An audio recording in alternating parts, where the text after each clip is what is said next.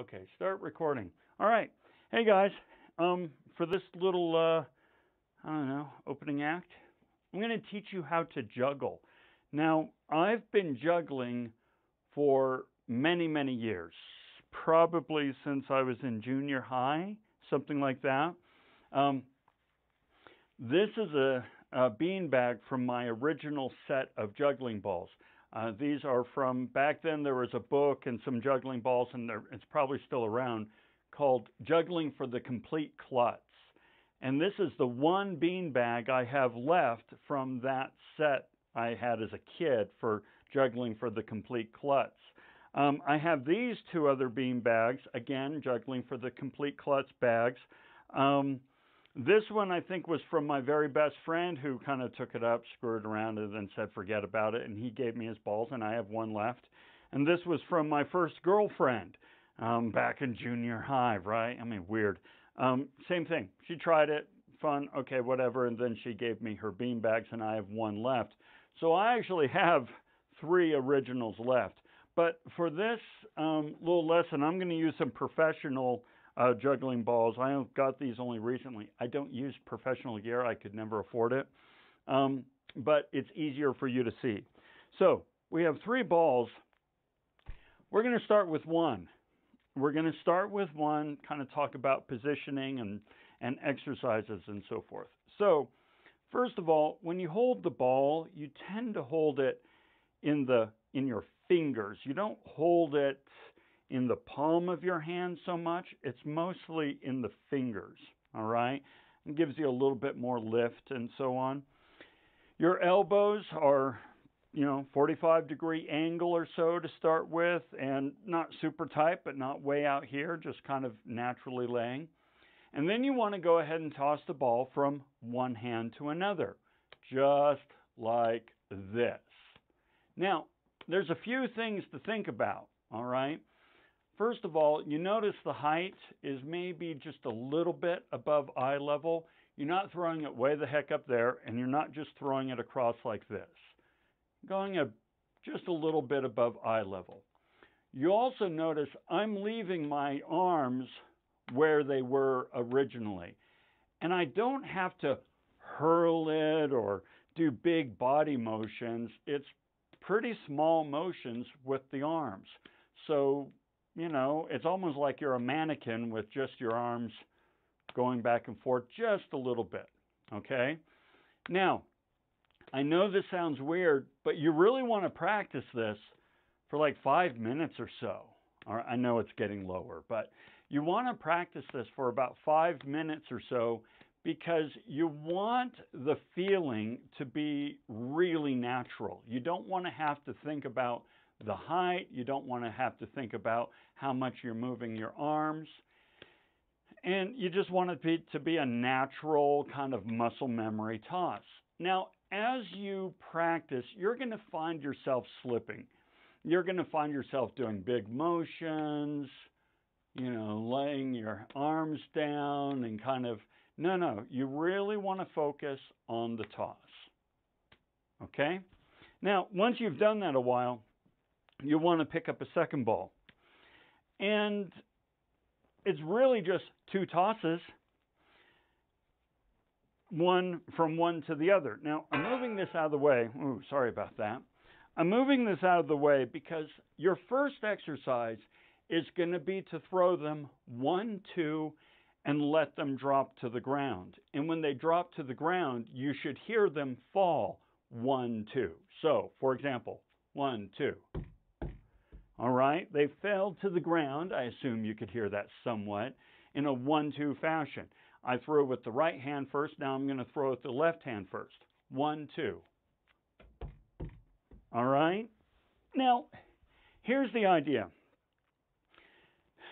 You're going to be really tempted to like throw one and get the other one out of your hand as quickly as possible. And so they're going to kind of go at the same time. So you're going to go and, and that's not right, okay?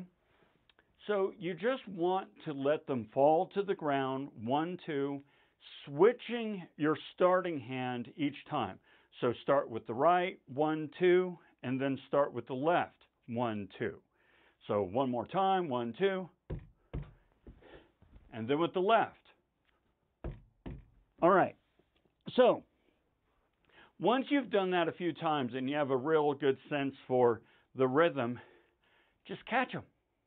You already know how to catch them. You practice for five minutes. You ought to be able to catch a couple of balls, right? So you just go one, two.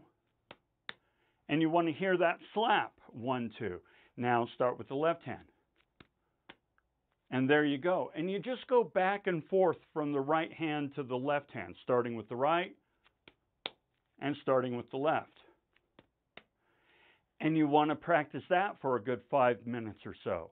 You want that to feel super, super supernatural. One, two, one, two, one, two, one, two. Okay?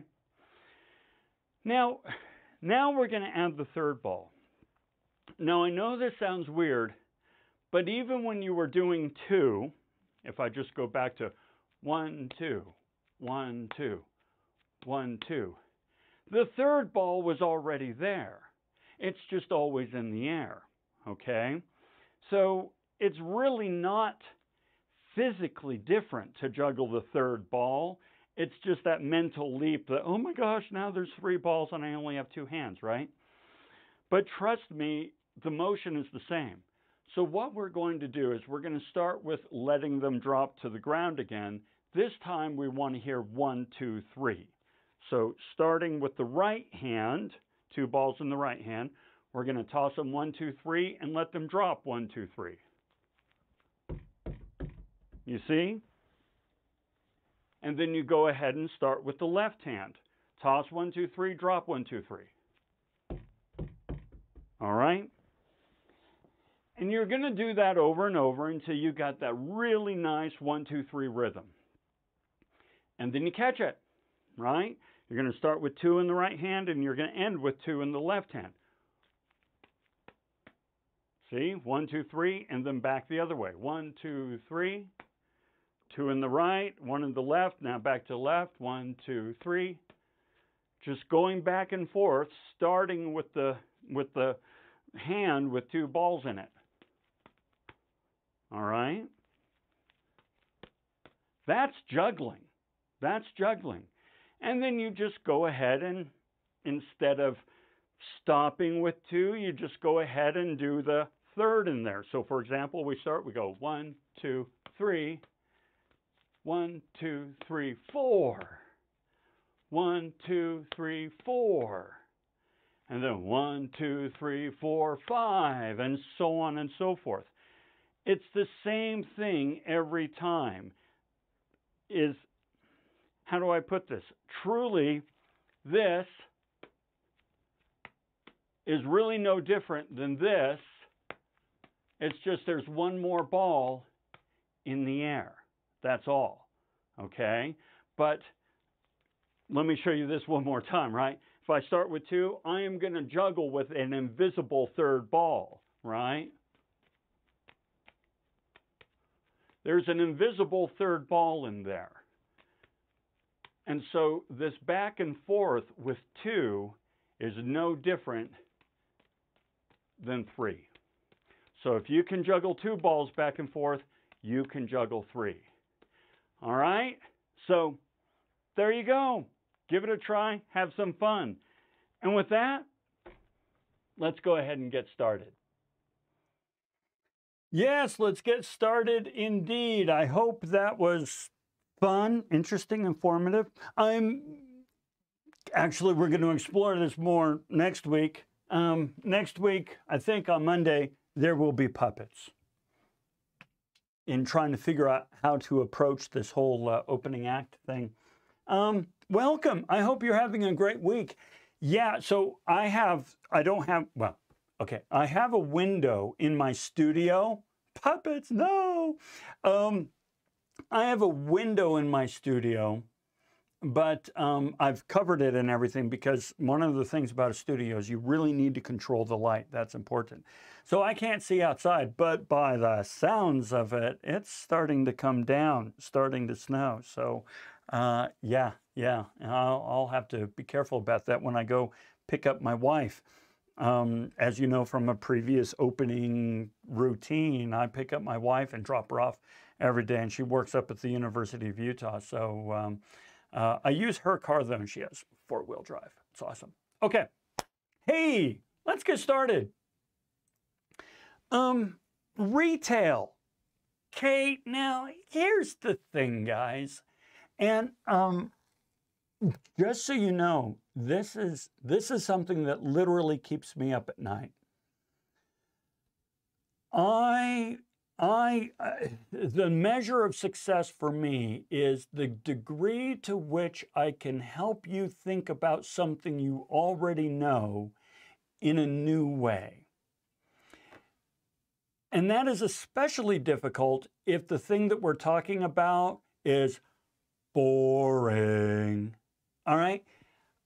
Retail is all about that, right? Retail, it's not too terrible. You know how retail works.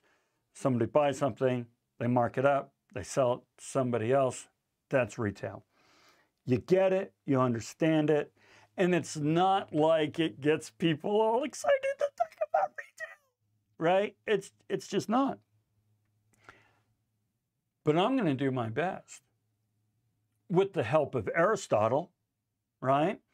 Um, I'm going to, uh, we're going to talk about retail in sort of a new way, a way that really kind of showed, shows how retail is such an invention, and furthermore, not always a good invention, all right? So we're going to kind of look at retail through the lens of Aristotle and and in in his work The Politics. So let's get my highlighter out and oh hey, you know what? Let's go ahead and reset these from my previous class. Don't worry, you're going to bring them right back up, right? As a matter of fact, ah heck, I don't know, but we've already had lots of people you know, coming in. Uh, it wasn't re- referenced the past lectures. I apologize. Um, we already had lots of people coming in and talking and saying hi and so forth. So I want to give you some credit for that. But now we'll get the real ones. Okay. Retail. Okay, so you remember this from what was it, Monday? We've got ourselves a marketplace now. All right, so how did the marketplace come about? Well, all right, we have this sort of thing of division of labor coming up. Instead of everybody being their own farmer and their own craftsman and their own blacksmith, and I do my own carpentry and I do my own sewing and knitting and, and all the, yeah, that's, un, that's not sustainable. So we have this division of labor going on in which everybody kind of specializes in one aspect of whatever is necessary to keep the society going. So you remember that, right? And we, you remember that we then kind of had to bring all these people together in a marketplace so that we could buy and sell these, these goods and services that we don't supply to ourselves, right? So I don't make my own juggling balls. I actually did once.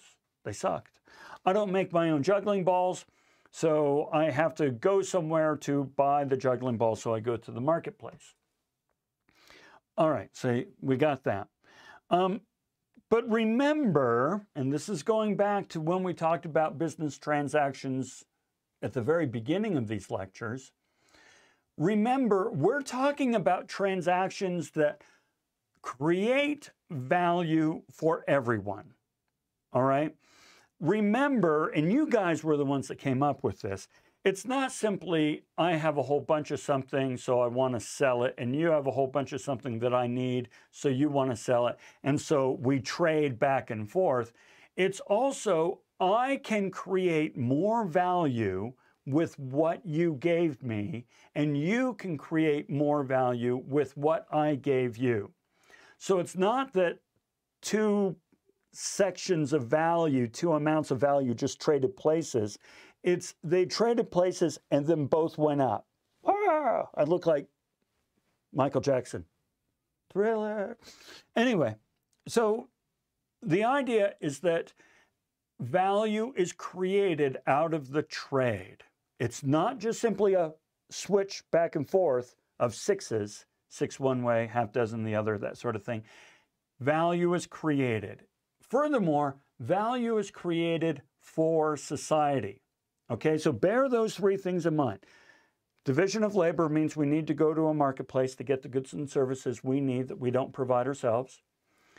The trading of something creates additional value beyond that which existed in the item anyway, and that value is for the good of society. Okay, that's important. All right, so, all right, you guys remember that. Move on, Lon. Okay. Well, let's play with something here. Online arbitrage. You guys, whether you know the word arbitrage or not, you know what online arbitrage is. Um, nevertheless, for those of you playing at home, let's play with it for a moment. And trust me, this will mean something.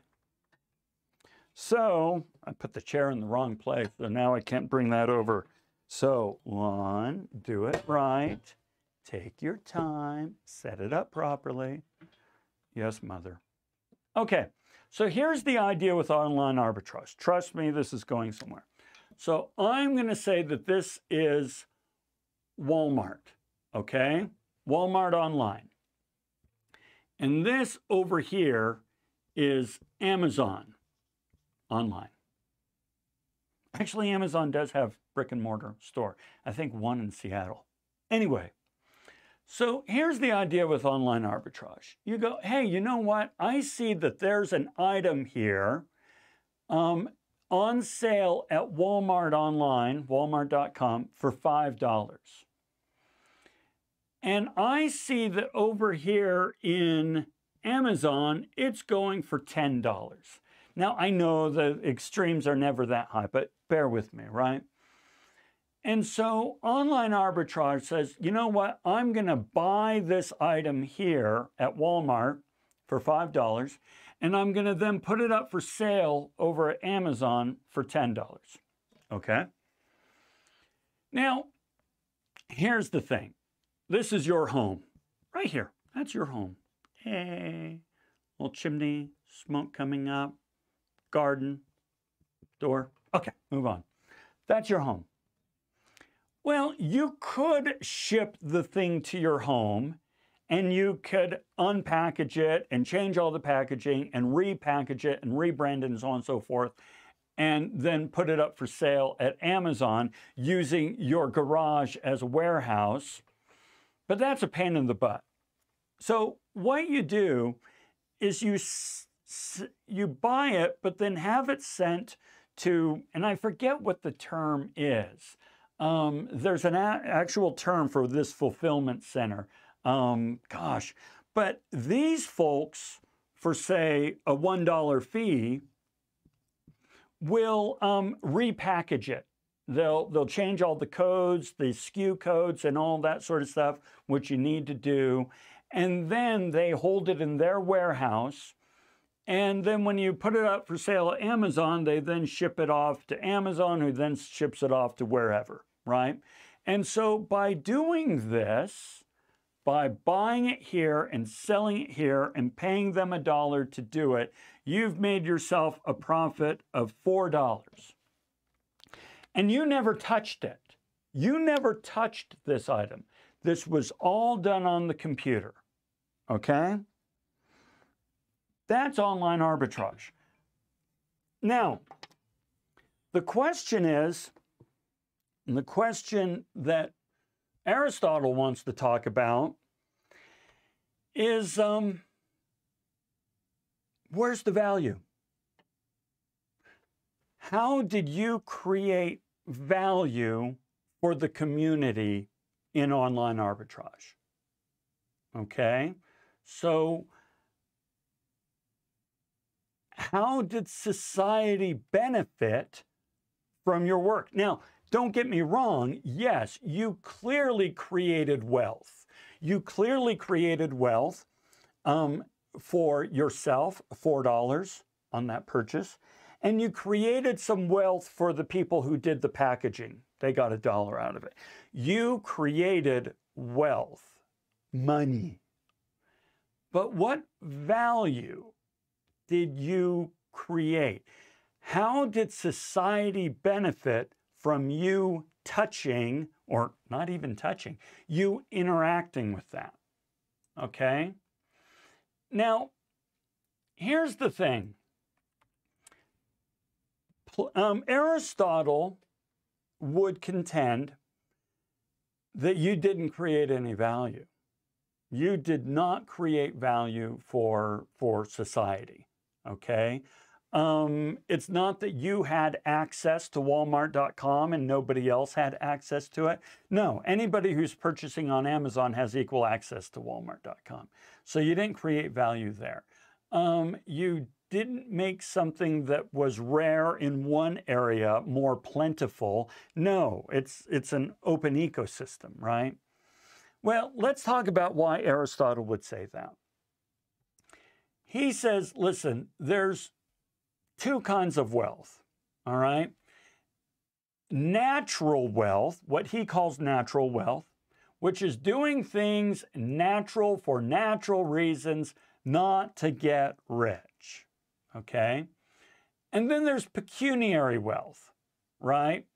Which profit seeking, greed, avarice, and ambition, okay? Now, Michael here, real quick, says what marketing advertising is being used to inform or promote such a service um, would be entrepreneur. You see, here's the thing, and we're going to talk about marketing and advertising later on in this series of lectures because that's a whole new you know, can of worms there, right? Um, I am not contending that this is not entrepreneurial. It's highly entrepreneurial. I'm not contending that um, it doesn't create wealth. We're just looking at this for, through the eyes of Aristotle for a moment. But then we'll kind of talk about today's world and what we think.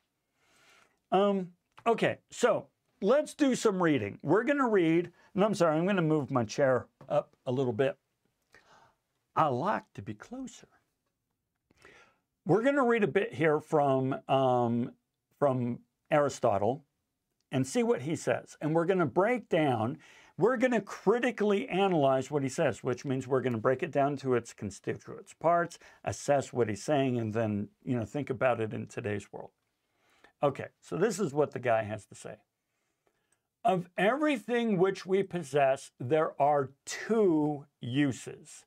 Both belong to the thing as such, but not the same manner, for one is proper. Oh, so proper, this particular use. And the other, the, um, the other improper or secondary use of it. Now, we're going to use shoes as an example. By the way, online arbitrage is used a lot for shoes. Shoes are in right now right? Um, um, scalpers. Okay, Mauricio, hold on to scalpers because I'm going to tell you a story about scalpers. But this is what it, you're right. You're right. Okay, so here's what Aristotle says, and he's going to use shoes as an example. All right. For example, a shoe is used for wear and is used for exchange. Both are uses of the shoe. Okay, I don't have any shoes in here. I don't have any shoes. See that picture? Am I pointing the right way? No, I'm not. See that picture? Those are shoes. So shoes have two uses. You can wear it and you can use it as a medium of exchange, meaning buyer seller trade, right? Where? Buyer, seller, trade. Those are the two uses of the shoe. He who gives a shoe in exchange for money or food to whom uh, to who wants one does indeed use the shoe as a shoe, but this is not the proper or primary use for a shoe. It is not made to be an object of barter. Okay? So here's the thing Oh, wow. We will be talking Machiavelli later. Um, yes, you can use the shoe as an item of barter totally fine, right? If you don't have a shoe and I have extra shoes and I use it as an item of barter with you, I'm using a shoe as a shoe as an item of barter, but that's not the proper use of a shoe. Not proper as in, oh, so proper. It's just shoes made to wear, right? So let's keep going. Let's see what Aristotle has here, right? Oh, and by the way, we're going to come back over here. Okay, the same may be said of all possessions, for the art of exchange extends to all of them, and it arises at first from what is natural, from the circumstance that some have too little and others too much. Okay, this is totally normal, he says, and I'm totally copacetic with it, says dear Aristotle, right? He says, listen, some people have too much of something, some people have too little of something. It's just natural for us to exchange so that we can meet the needs of one another, create value, and contribute to the state, the economy, the society, right? That's normal. This sort of barter is not part of the wealth getting art and is not contrary to nature, but is needed for the satisfaction of men's natural wants. Okay, now here's where Aristotle is kind of fixating, right? He says, listen, we all have natural wants. We need food, water, shelter, clothing, security, tools. We have things we need to live our lives. But anything beyond what is necessary to live your life is pecuniary. Pecuniary is a cool word to learn. You're going to use it a lot in the future, so pick it up. Meaning it's beyond what is necessary to live. Now you're just talking about wealth, greed, avarice, things like that. Okay? So let's keep giving this guy the time of day and see what he says. We're going to stick with him. When the use of coin had been discovered out of the barter of necessity, articles arose. Um, the, the art of wealth getting, namely retail trade. Okay, now that we've invented money, and we've talked about this in this lecture series. We've invented money for legitimate reasons, but now we've got retail going on, right? Which is at first probably a simple matter. At first, retail is simple. Hey, I have all these, I have a lovely bunch of coconuts, right? Whatever. I have all these coconuts. Tell you what, I don't want to go down to the market I, I don't. So I'm going to sell it to this guy who's going to take them to the market and he's going to resell them, but he's going to resell them at a little bit higher cost because he wants to be paid for his service of taking them to the market for me and selling them, right? Simple, simple. But became more complicated as soon as men learned by experience whence and by what exchanges the greatest profit might be made. Okay, now totally what I normally do here, folks, is I say, hey, have you watched The Big Short? All right, great, great movie. The, the Big Short is not only compelling and informative, but is also funny as hell and infuriating. Because what the big short tries to do is explain, even at the tiniest level, how the housing market fell apart back in like 2007, 2009, right? How did the housing market just collapse? And the movie The Big Short tries to explain how it works. But even the movie calls out, and they even call it out in some pretty humorous, irreverent ways. The movie calls out, we can't tell it the way it actually happened because it's too difficult to understand. Nobody understands it. And the people who do understand it don't want you to understand it. They want to keep all the knowledge and they want to confuse and bamboozle you because they want your money. Now, that's normally where I'd leave it. But GameStop, dude, GameStop.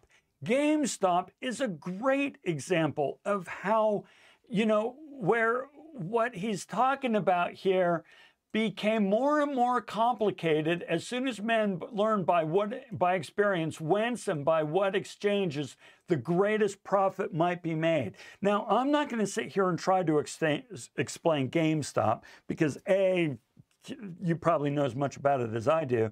And we don't know much about it at all. You might think you know it, but you don't, okay? But it's a great example of how people are artificially on both sides, both the old institutional, big, huge people and the little guy are artificially manipulating um, economies and markets and perceptions and all that sort of stuff in order to make money. Aristotle would be freaking out at this sort of thing, okay? Um, oh, Jordan uh, Belfont commented about GameStop and the Big Short. Yes. And by the way, and I'm not making this up, people, the guy who wrote the book, The Social Network, upon which the movie was made, he is writing a book about GameStop, and that book has already been optioned as a movie. This thing is so hot that they've already optioned a movie on a book that has not been written yet. It's amazing. The point is that these markets are insanely complicated. And it's only about wealth, uh, only about getting money. You're not adding to society. We're not exchanging less for more and so on and so forth. And we're using a proper company like GameStop as a pansy.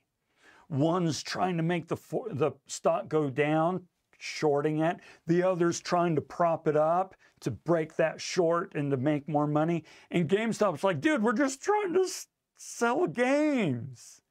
But everybody else is turning it into something it was never meant to be. That's what Aristotle's talking about. Okay? Indeed, riches is assumed by many to be a quantity of coin because the arts of getting wealth and retail trade are concerned with the coin. This infuriates Aristotle. He's saying what's happening with retail trade is we're no longer concerned about exchanging value, creating more value for the state, the community, the collective as a whole. Now we're just fixated on getting coin. We're just talking about coin. I sound like the Witcher. Oh, how much coin? I'll do it for coin. All right?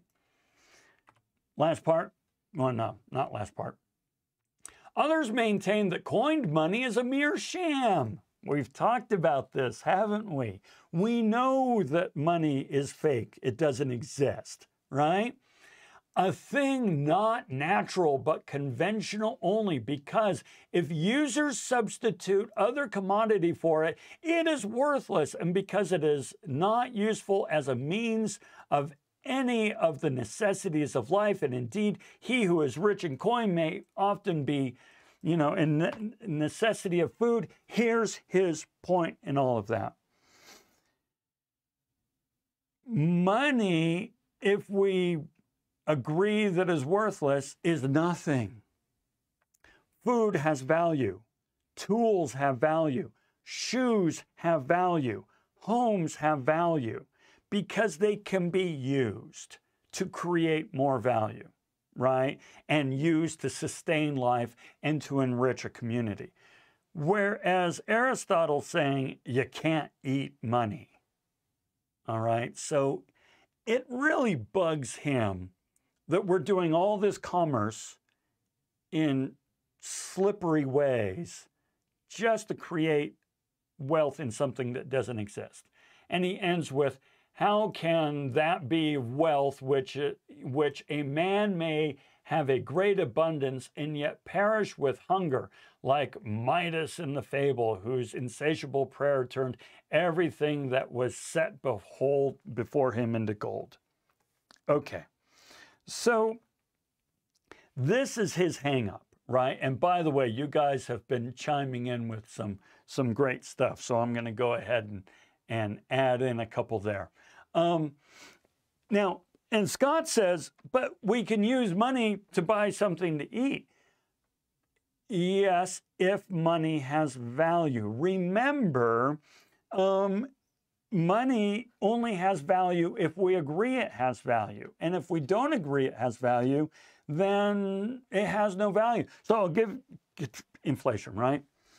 And we're going to talk more about this in future lectures. Uh, every Sunday, my wife and I pick up our son. He's mentally handicapped, lives in an. Anyway, I'm not going to tell you about you know my my woes with my mentally handicapped son and institutions and so on and so forth. Point is, we pick him up every weekend, and when we drive home on Sundays with him, he loves McDonald's nuggets and fries. So every Sunday we do drive through and we get them nuggets and fries. They've been going up in price. They've been going up in price. We've noticed this. Um, by the way, a good friend of mine owns that McDonald's, so one of these days I'm going to give him a hard time. Um, well, then that means that my money has less value than it used to have. Well, if it only goes up in price that much, it's okay. But at a certain point, it's going to go up in price so much that you can't afford it. And therefore, no, you can't buy food with money, right? Anyway, um, Michael James, uh, since we are adding questions, I might ask one, one later. That's fine. Uh, hyperinflation will cause money to be worthless and cause of economic failure. Uh, you know, good example, you know, Nazi Germany. You don't even need to go back that far, baby. Venezuela, here in the last five years or so, right? Venezuela has taken it in the mega shorts, right? Um, I see some conversation going back and forth, so I want to add that there. Um, yeah, it's it. As soon as we lose money, faith in money, then it has no value. But you're never going to lose faith in food. You're gonna never going to lose faith in shoes and a jacket, right?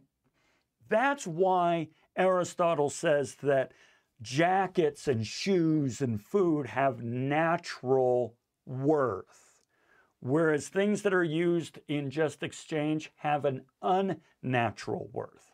That's the distinction he's trying to make.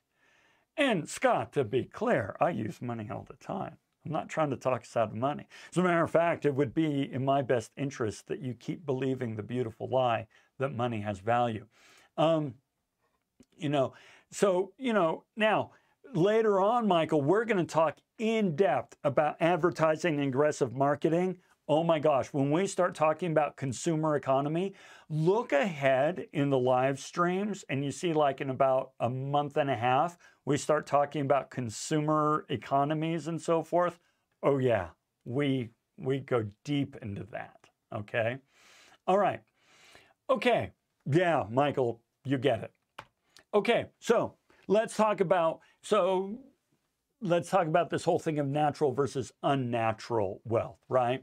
Um, so, um, household management, the art of household management, necessary, natural, and honorable. So, uh, if if you are exchanging goods and services in a retail way to just maintain your house, live a good life, provide for your family, and so forth, you're great. You're great. Honorable, noble, you're in great shape. However, if you're engaging in retail trade to um, just build wealth and to get richer and richer in terms of, of um, coin, right? Then Aristotle has real problems with you. Now, remember, guys, this is a class about where certain ideas began. It's not a class about history, right? So later on in this series, we're going to talk about things of usury and so forth. You know, how much markup is appropriate. It's an interesting thing when you hear that somebody is making 20% profit on something they're selling you, you might be inclined to say, yeah, 20% profit, that sounds about good. Yeah, okay, overhead and work. But when you find out that something is marked up at 3,000% profit, you're like, greedy?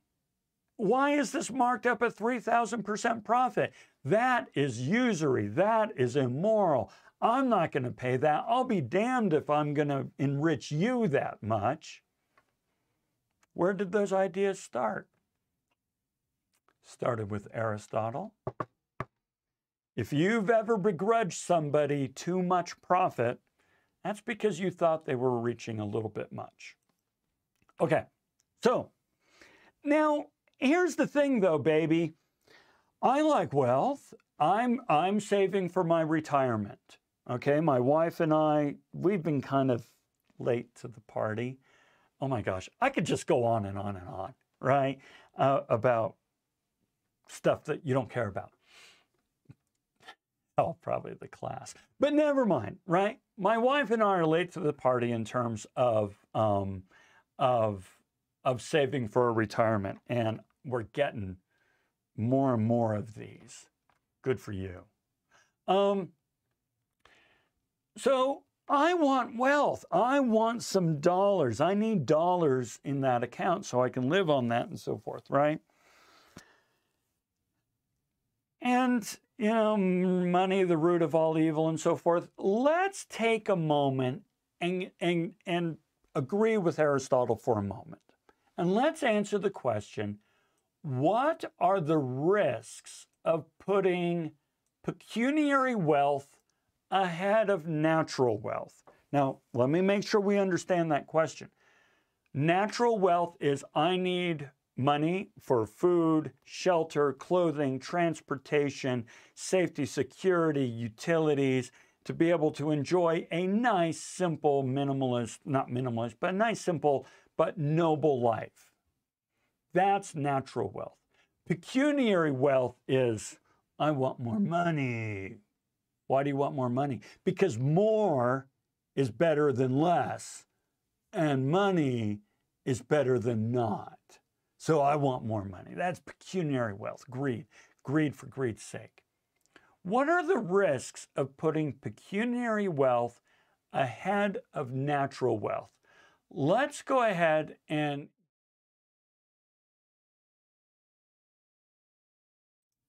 Sorry about that. I pushed a button that I didn't mean to. Let's go ahead and play with that idea for a moment. Tell me what you think.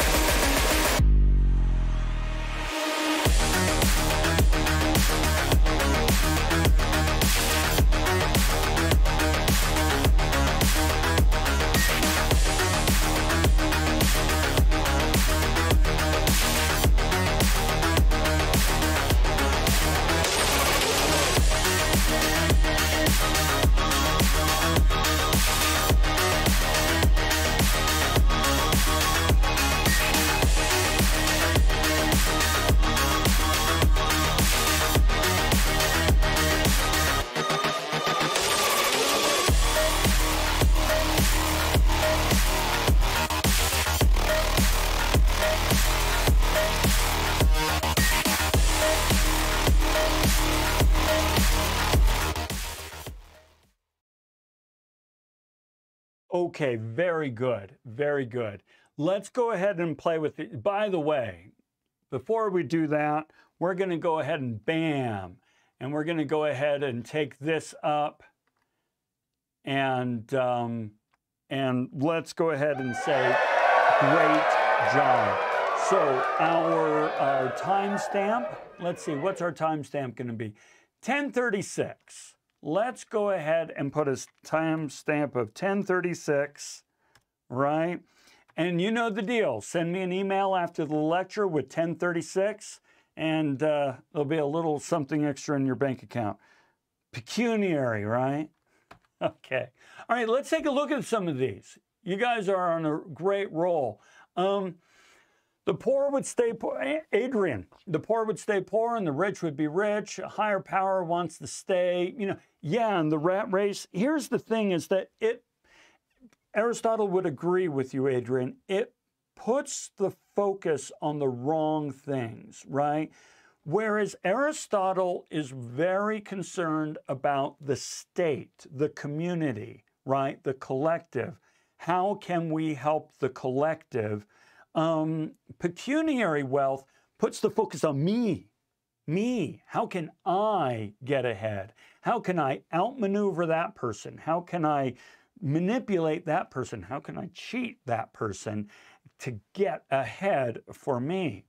Um, and that's a real thing. Right now, there's this advertising campaign um, on TV called uh, In Utah.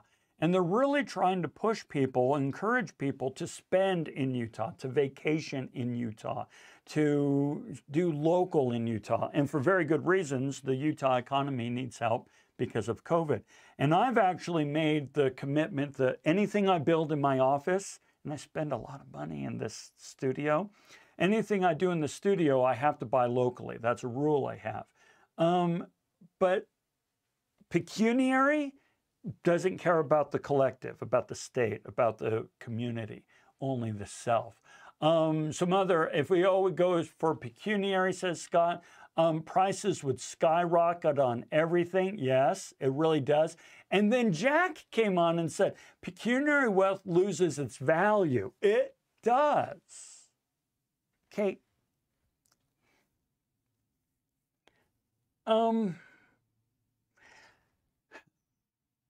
food is always worth food. A home is always worth a home. You can always live in it. You can always use it, right? If you maintain a home, if you maintain a car, you can always use it in its natural state you can use the car. Whereas the value of that car, you know what they say when you buy a new car, it depreciates in value the moment you drove it off the lot. It does. And that's the pecuniary side, that's the retail side. A car will always have value of it as a car so long as you maintain it and, and it's running fine. But its value in terms of retail is always going down. Okay, so yes, pecuniary wealth is always depreciating. Good point. Uh, Adam, I think society. I think in a society, if so many people are looking for pecuniary wealth, their markups uh, could potentially make it more difficult for others to achieve household management or or natural wealth. Okay, um, let me support what Adam said here, all right? Let's look at housing costs in Utah right now, in the Salt Lake Valley, right? The cost of housing, I just read in an article over 2020, 2020, the, the value of housing here has gone up 19% in one year. 19%. The average home in the Wasatch Front, in this valley and so forth, is around $400,000. Now, if you're a homeowner, ooh, that's sweet. That's fantastic. Oh, wow, look at my wealth. It's going up and up and up and up. Affordable housing is a real problem in the valley right now. Now, you've probably noticed that they're building apartment complexes and condos and townhomes on every frickin' corner. Well, that's because they're trying to, I'm fidgeting with stuff and dropping it. That's because they're trying to catch up. Affordable housing is a massive problem. So, if you are somebody like me with grown kids and these kids are out there trying to build a home, build a future, build a life in Salt Lake and the Wasatch Front, it's really difficult. They cannot meet their natural wealth household management needs because it's too expensive. And as a result, I have adult children living at home. Now, they're doing well and they're saving their money to get out there, but it's a lot harder than it used to be. So, Adam, I agree with you. All right. Um, excellent. Excellent, right? And by the way, there are a couple of nice real world examples in there, so we're going to go ahead and throw that on up there. All right. So, yeah, there are risks to it. All right. Now, by the way, who was it that mentioned Seneca? Was it uh, Michael James?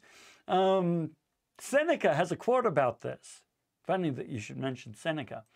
It is not the man who has too little, but the man who craves more that is poor. The truth is, and we talked about this in, in past lectures, by just about every measure, you are rich. Throughout every measure that was used in human history, you're really well off. Now, I don't want to belittle your state. I really don't. Profit motive, which we're going to talk about in depth in this series, is, is a real thing. We want to always push forward. We always want more. And that's why you're in college right now. So hold on to that. Ambition is good.